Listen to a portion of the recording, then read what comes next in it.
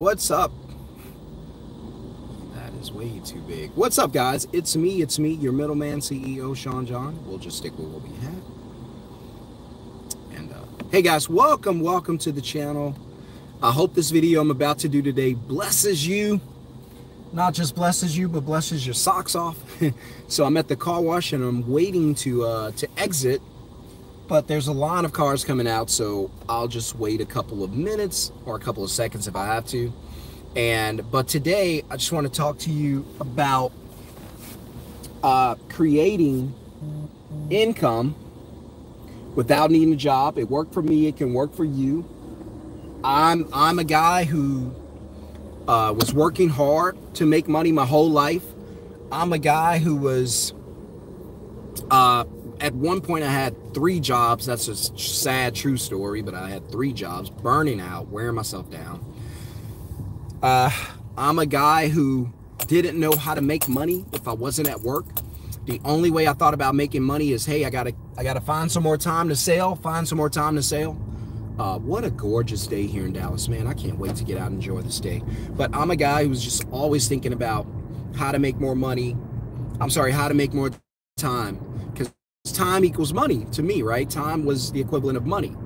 And not understanding that time is not money, that time is infinitely more valuable than money. And so learning that lesson, I was like, wait a minute, as long as I continue to trade time for money, I'm never going to have the life I want to live. I'm never going to be in the position I want to be in financially.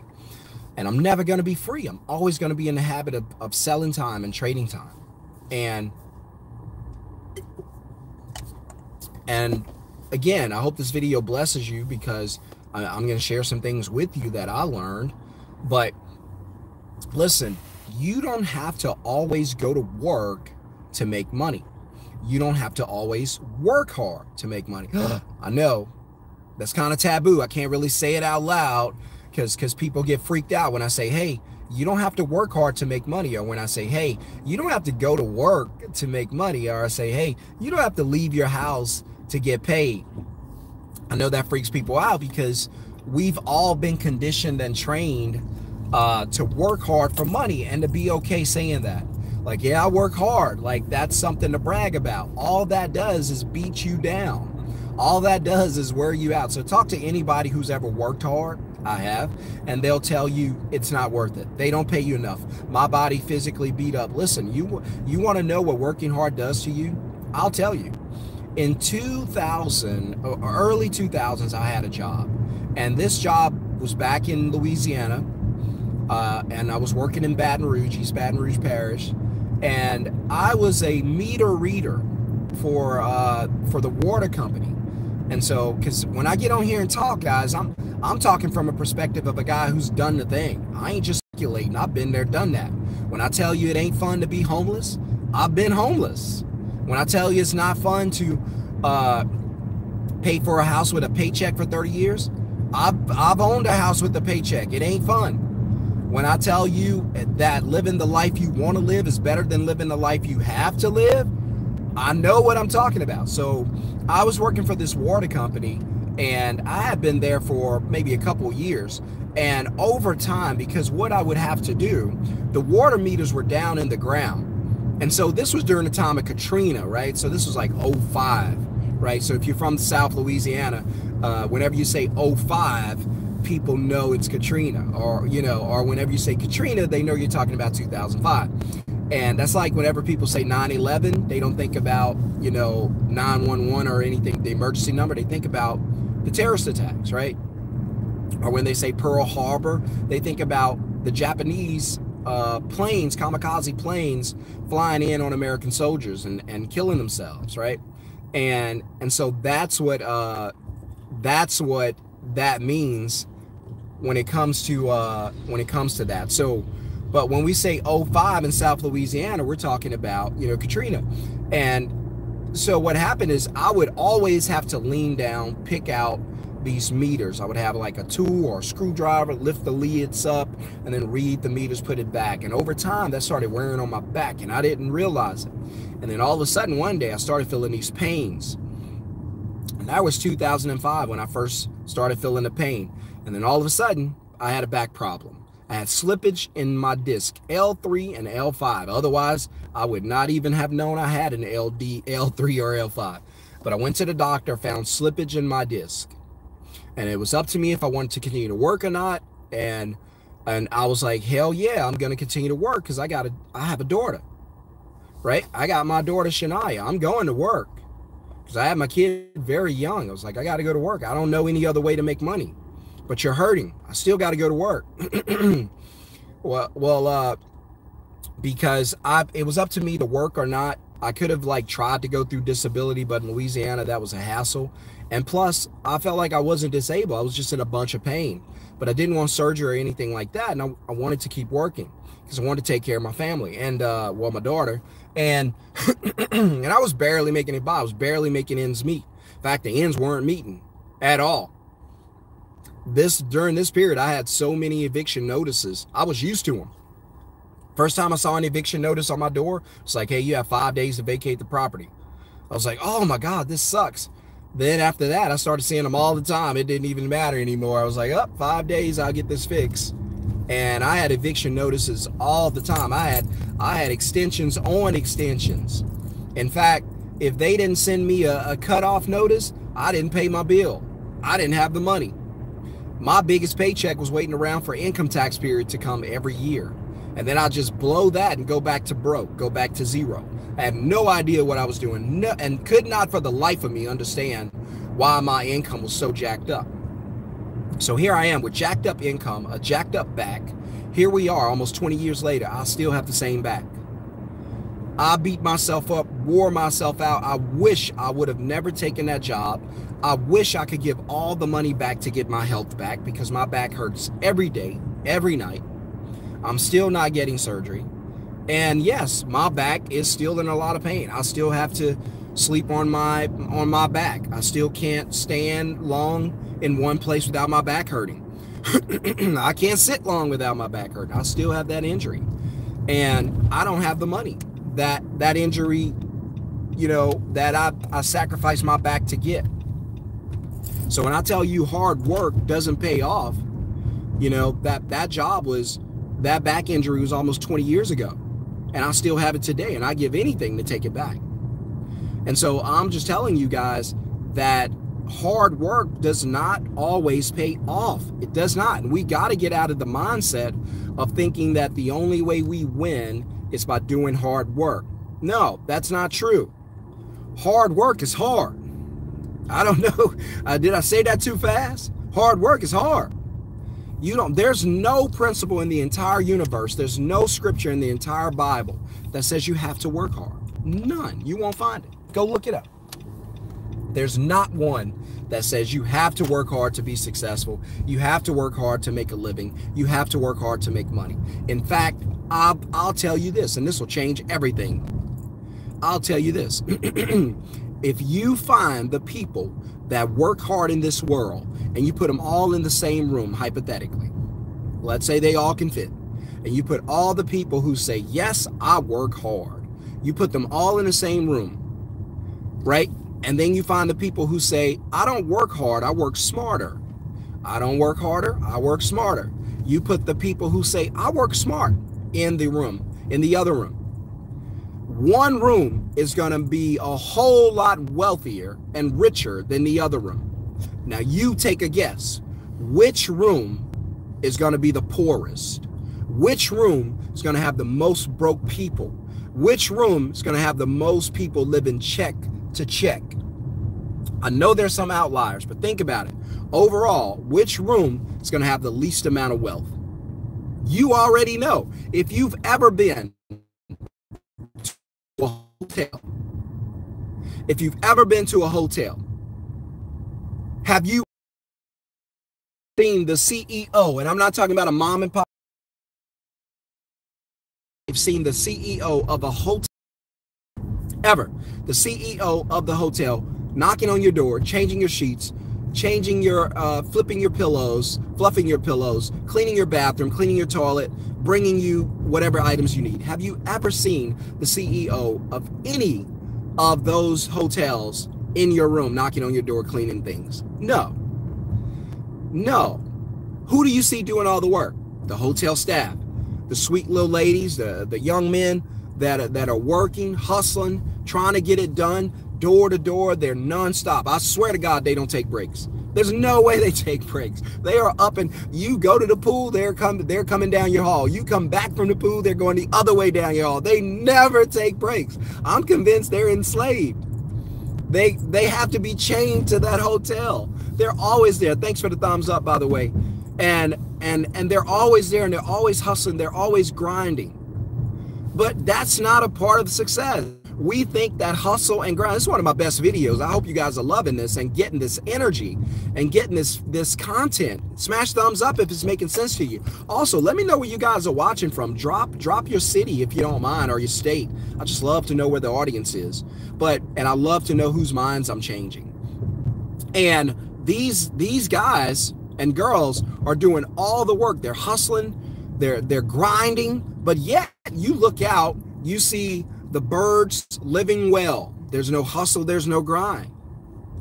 You see the animals living well. There's no hustle, there's no grind.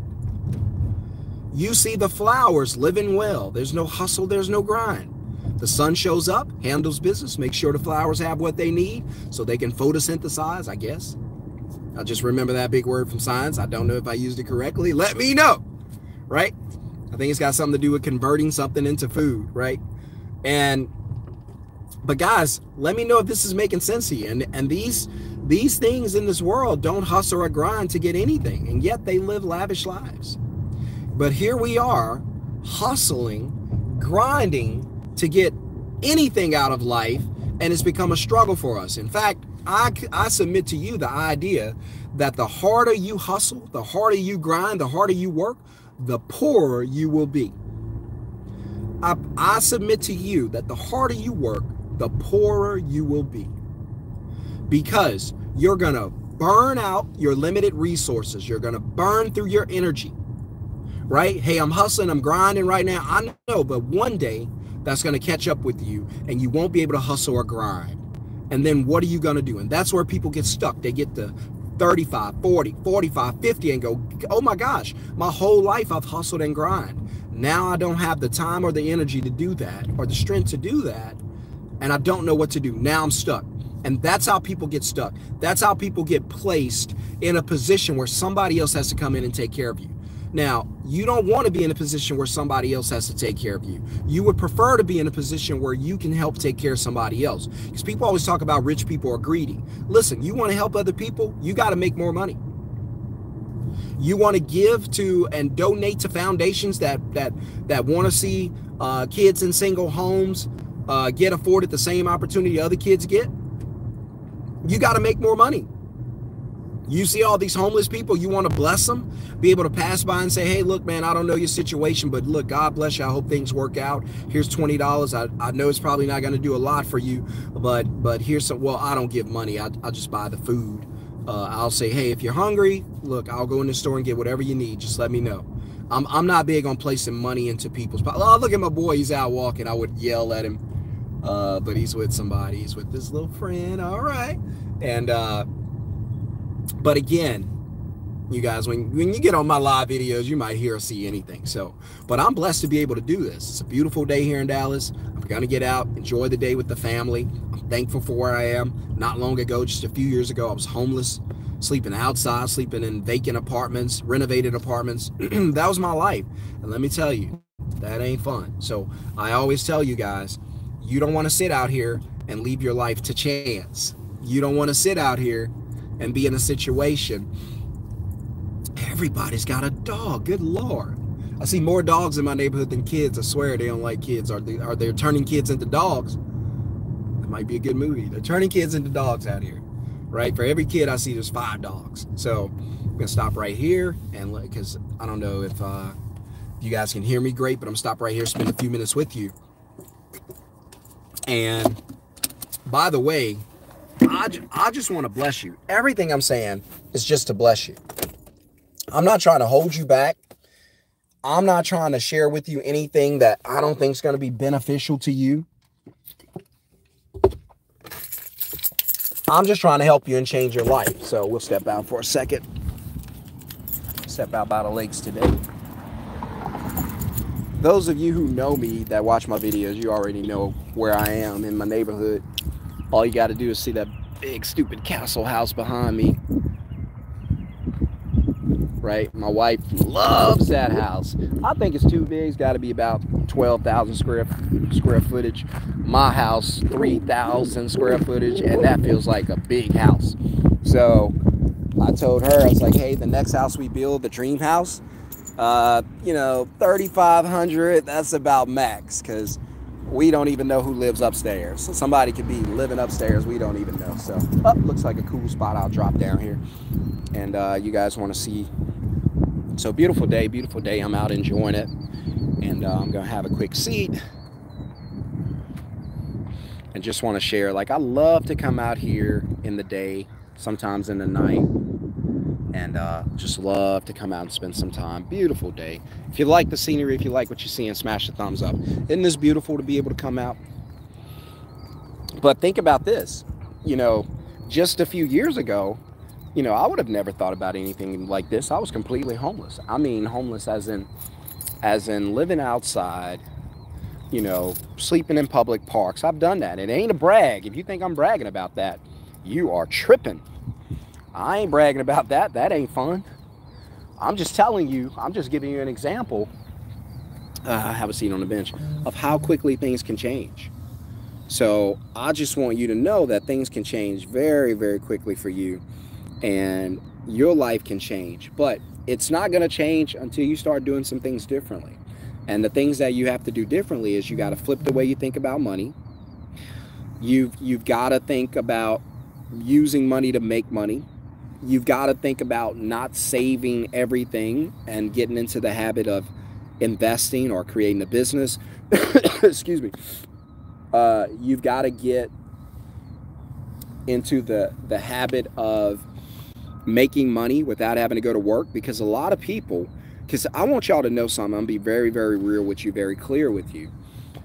As, as much as as much as this might pain you, uh, I'm I'm the kind of friend I'm gonna tell you the truth, even though sometimes the truth's gonna be a little painful, it's gonna sting a little. But sometimes that's a good thing that you need to get stung in order to say, oh, wait a minute. Yeah, don't do it that way. Yeah, yeah, that that bee stung me. Don't go that way. There's a there's a beehive. Yeah, I got I got hit. Right?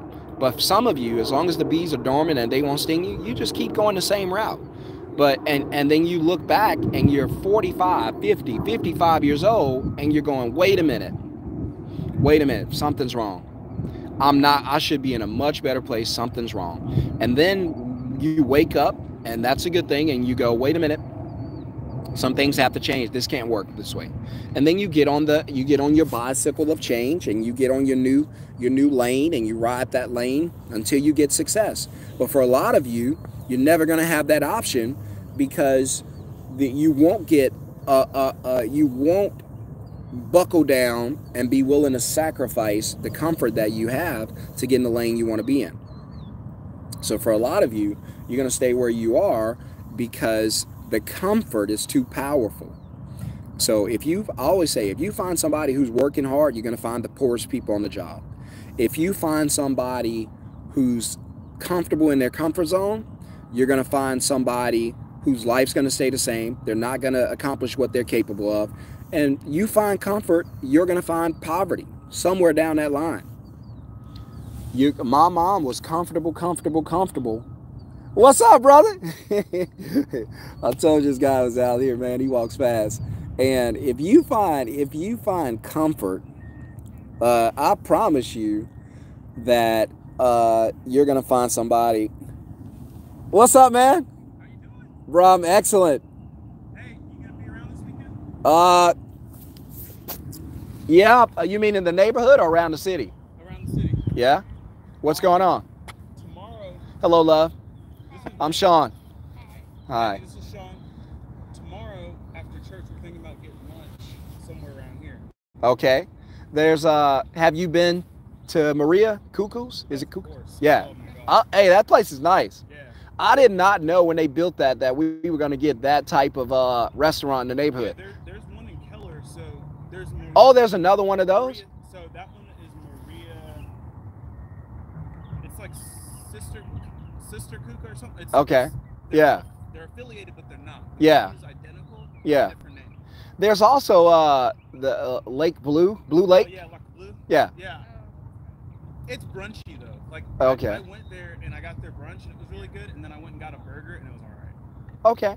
I've, the- I've only done breakfast there, so uh, I think we went there. yeah, you and I went. I've been a few times, but I hadn't been lately. I like. I haven't been anywhere over here lately. I think we went to Maria Kuka's. Yeah, that's a crazy name. Yeah, Yeah, cool. but look, man, let let me know because uh, I, I I don't know. Like I got, I got something going on at like six o'clock. T- tomorrow night. Yeah, tomorrow night. I'll text you as soon as I find out what they're doing. Yeah, text me and let me know, man, and I'll shoot over. All right, then. All right, man. Good seeing you. And so, uh, but again, for everybody who's looking to change their mindset and flip how you do business or how you make money, all of that stuff's going to start with uh, finding a new way to get paid. If you if your paycheck's your only way to get paid, then that's not something you'll be able to continually do. You're going to have to get out of the habit of using your paycheck to take care of you. Now, don't let that scare you because what that does is that opens you up to find new ways to take care of yourself, make more money, and then you can get your time back. The only reason you don't have time to do the things you want to do is because you sell that time for money.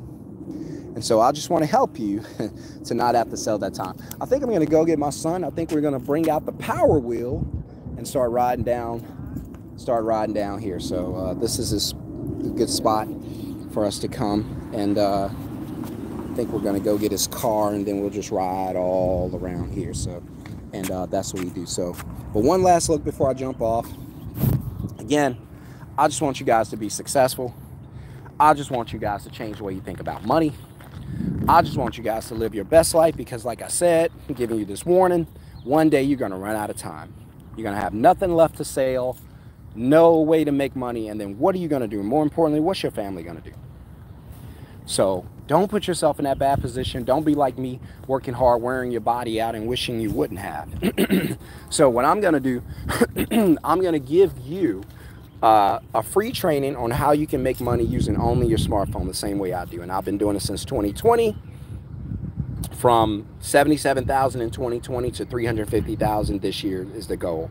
But you don't have to make that much if you make an extra $50,000, $40,000 a year. I promise you it'll help you and it'll change your life. The best part is you do it from your phone. So if you want to learn how to do it, type the word middleman in the comments below, middleman, and I'm going to teach you how to start your own middleman business using only your smartphone. It's a free live training. It's going to be Sunday night, 6 p.m. Texas time. And I'm going to teach you how to do it, how to change your life, and never have to rely on a job or a paycheck ever again as your only source of income. So if you want to learn how to do that, type the word middleman in the comments below. I'm limited on how many people I can let in because I do want to do some Q&A and I don't want it to be overcrowded like it was last time. So uh, comment quickly. If you get an invite, you're in. If you don't get an invite, uh, I don't know what to tell you. So, but let's do it. Let's get to it. And let me help you to, ch- to change your life and to bless you. So I got this free gift for you.